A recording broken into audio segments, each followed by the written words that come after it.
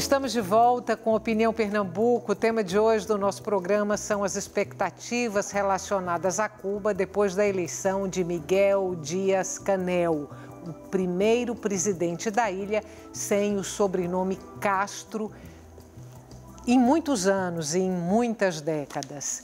Participam do nosso programa o historiador Pedro Simas, o professor do Departamento de Filosofia da UFPE, Érico Andrade, e ainda o cientista político e também professor da UFPE, Michel Zaidan. Lembrando que você pode participar do nosso programa com perguntas e comentários pelo WhatsApp. Anote aí o nosso número, é 988 30 70 98. Eu, eu queria ah, abrir agora a discussão ah, para a gente falar de, das, das, das expectativas em relação a, ao governo do novo presidente, novo presidente. que não tem a grife. Ele é professor. Ele é do meio acadêmico, ele é Engenheiro, engenheiro, né? é, ele é engenheiro. Ele não é um militar. Ele não pertence à geração dos revolucionários eh, que fizeram a revolução. Ele tem man- ma- manifestado uma tolerância grande em relação a essa questão de orientação sexual e de gênero lá em Cuba. É jovem ele, não é da família Castro, embora isso não constitua nenhum problema. Então, só pode haver expectativas positivas em relação. Olha, a coisa que mais se tem dito é a palavra continuidade. Em espanhol, continuidade. Eu, eu, eu vou lhe dizer, eu sou muito franco, eu não acredito nessa continuidade. É uma mudança pela continuidade, porque existem processos de transformação que não são rupturas, entendeu? São, chama-se revoluções passivas, para usar essa expressão. Mas são mudanças, há mudanças. Não, é, não, não fica estático, não. É, Cuba está, no momento, num processo de transição econômica e política. Econômica começou com Raul Castro. Política, acredito que eh, essa eleição ela tem um significado muito importante. Agora, o grande impedimento, todos nós aqui sabemos, né? Chama-se Donald Trump e o retrocesso na política externa norte-americana.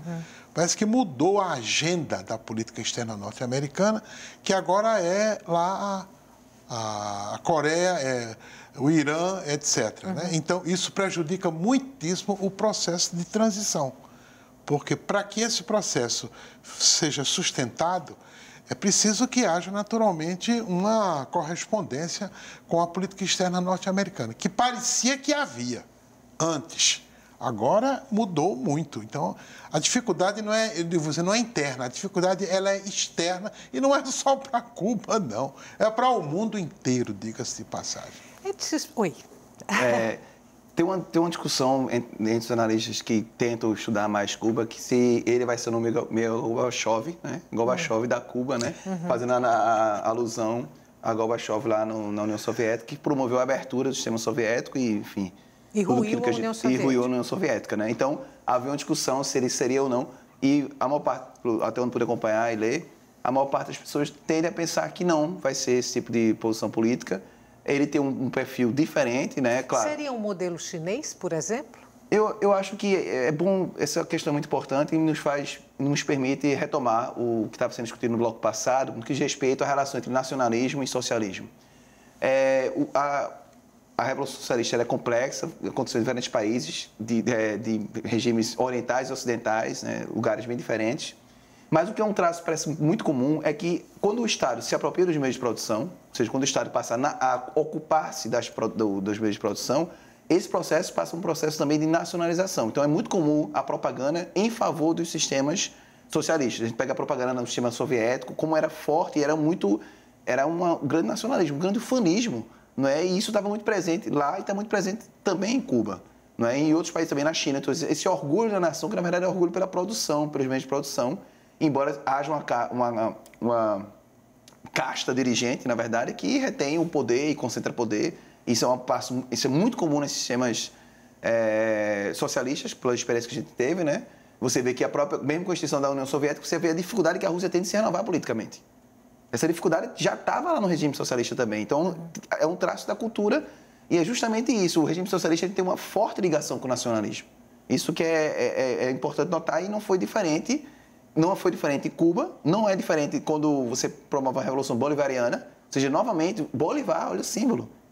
Então, há, há, há muito forte essa ligação entre a nação, entre o espírito de nação e, é, diremos assim, essa tomada dos meios de produção. O Miguel Dias ele fez um discurso, o discurso de posse. O discurso de posse, a palavra que mais aparece é Castro. Então, é, é um discurso que claramente, claro que é a história é imponderável, né? Mas do ponto de vista do que a gente pode ver hoje, é um discurso que tende a pensar e reconhecer a importância da revolução. A palavra revolução aparece demais no discurso dele. É um discurso, e é um discurso que tem como ponto central o fortalecimento da nação. Se para a nação ficar forte é preciso abrir o mercado, que se abra, mas que não se perca o prumo disso. E aí você vai ter lá Castro como que como chefe do exército. E é isso que está acontecendo lá nesse momento, na opinião de vocês? É importante perceber que, ao contrário de outros regimes socialistas que ruíram, em Cuba existe um reconhecimento muito, eu diria, massificado de que a revolução trouxe conquistas, uhum. mas que é preciso levar a superações. As conquistas trouxeram, é, vieram, trouxeram avanços sociais, sobretudo, na educação, na saúde, mas a população mais jovem ela não nega isso. Bom, há conquistas, mas a gente precisa avançar. Isso é um discurso muito presente é, no, no, novo presidente. Quando em 2005, por exemplo, Fidel Castro faz um discurso em que ele diz: Nós avançamos muito, mas mudanças serão necessárias. Ele já faz um prenúncio do que viria. O próprio Raul Castro, quando assume em 2008, ele diz: Ó, vamos lá, Castro foi muito importante, será sempre importante, mas vamos promover algumas aberturas que são necessárias para que a gente mantenha as conquistas sociais. Então é como se Cuba estivesse se adequando aos tempos modernos, né, uma esquerda moderna, sem abandonar suas raízes. Isso é muito forte também na questão cultural, quando a partir da, dos anos 2000, do século 21, o governo cubano ele faz algumas mudanças na educação, em que, primeiro, de 2000 a 2005, a gente vai reforçar os valores socialistas, revolucionários, e 2005 em diante a gente vai forçar aí um crescimento das universidades, dos cursos de pós-graduação, a gente vai trazer mais gente de fora para estar aqui dentro.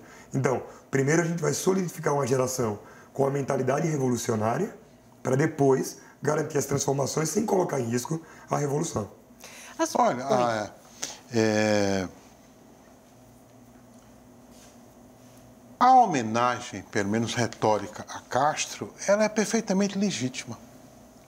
A gente estava discutindo aqui que o protagonismo de presidentes na América Latina em relação às mudanças nos seus países é muito importante. Ao contrário de outros países, na América Latina é muito importante. É, é, a homenagem ela é justa. É, Acredita-se a Castro uma liderança importantíssima na independência de Cuba e nessas transformações sociais. É, a múmia de Lênin até hoje continua na Praça Vermelha, num país que já não é mais socialista. Ela cumpre um papel muito importante, é, pelo menos como símbolo é, daquilo que a Rússia conquistou ou se transformou, que era um país semi-feudal e é. camponês, diga-se de passagem. Transformou-se numa potência, diga-se de passagem. Né? Outra coisa, foi uma grande sabedoria o início do processo da abertura econômica de Cuba. Porque sem combater o embargo comercial, é difícil é, mudar substancialmente a economia cubana. Os dirigentes cubanos que fizeram essa opção de abrir a ilha multilateralmente, inclusive, eles acertaram num ambiente de globalização. É impossível se manter fechado, sem trocas, sobretudo depois do fim da União Soviética. E é bom lembrar que existem muitas retóricas que dizem: ah, Cuba se tornou miserável depois da Revolução. Se a gente analisa os dados sociais, Cuba está entre os três países da América Latina que têm altos índices de DH. Primeiro, a pobreza. Ah, não a miséria. Não, uma miséria. E é bom lembrar que quem era Cuba antes da Revolução Socialista? A Cuba de Fulgêncio, um país em que 75% das terras estavam concentradas na mão de empresas norte-americanas, por exemplo. Então, a pobreza existe, mas não existe uma desigualdade extrema. Né?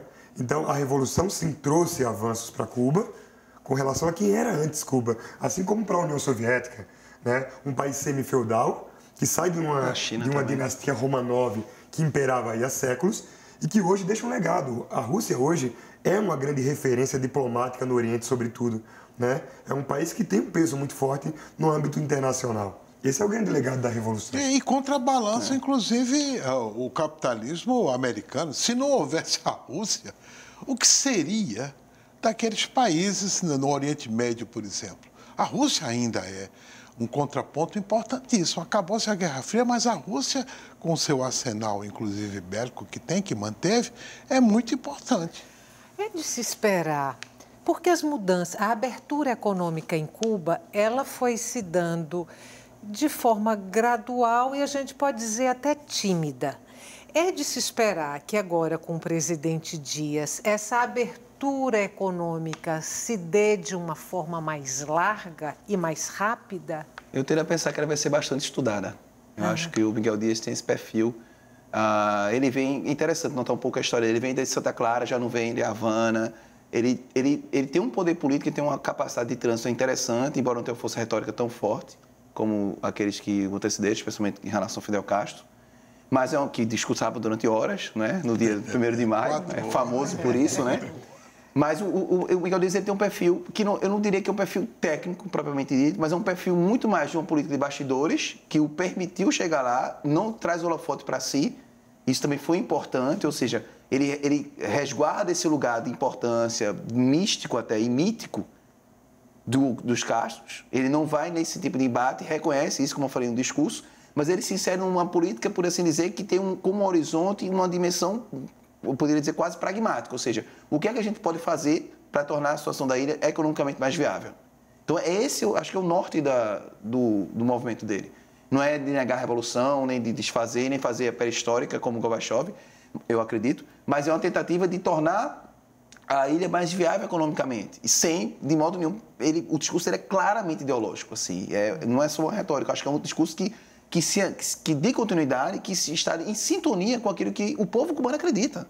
Não podemos deixar de perceber que, embora seja um partido único, mas o, há uma necessidade muito grande no governo de Cuba no ponto de vista do reconhecimento social. O reconhecimento social ele é, ele é expansivo, massivo e se materializa numa, na quantidade de pessoas que vão votar. Então, é, há uma legitimidade política na, na eleição de Miguel Dias que não pode ser negligenciada. E é importante, ela só tem esse poder que tem porque ele está em sintonia, de um ponto de vista pragmático, com, a, com certa abertura que tem que existir, mas, sobretudo, em sintonia com aquilo que ele mesmo chamou de processo revolucionário. É Podia curioso... aprender com a China, né? A China talvez ensinasse alguma coisa a, a ele, né?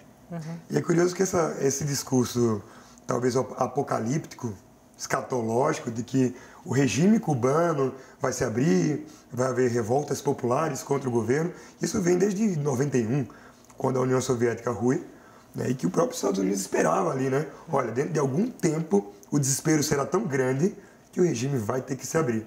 Vieram os Jogos Pan-Americanos em Cuba, em seguida Cuba começa a se alinhar com a China na década de 90, a Rússia perdoa as dívidas de Cuba com a antiga União Soviética. Em seguida, vem os anos 2000, Cuba se renova, vai é, nega a ALCA, né, o bloco econômico pleiteado por Bill Clinton, e acaba aderindo à ALBA, né, que seria a aliança ali dos povos bolivarianos. Uhum. Enfim, então Cuba vem resistindo, resistindo, resistindo.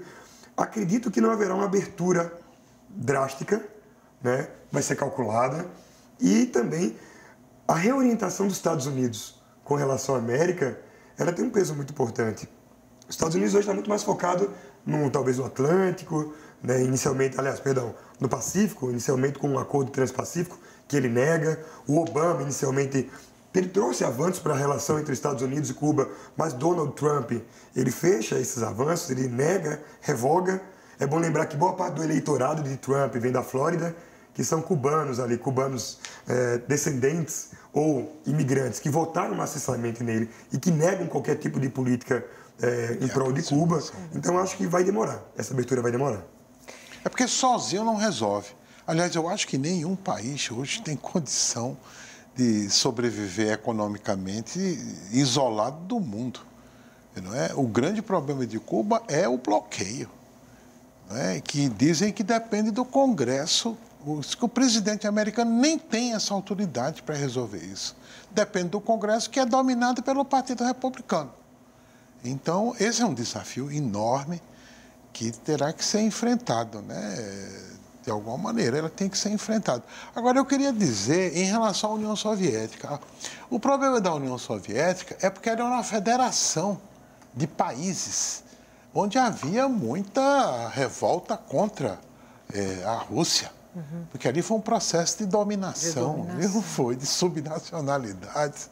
Ainda hoje está lá, há problemas graves lá dessa briga uhum. de, de nacionalidades.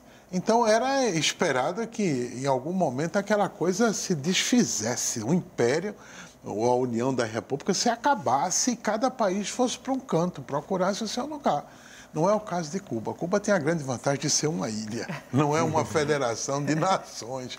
É bem mais fácil de, de governar. Vamos fazer mais um intervalo curtinho, a gente volta daqui a pouco. Até já.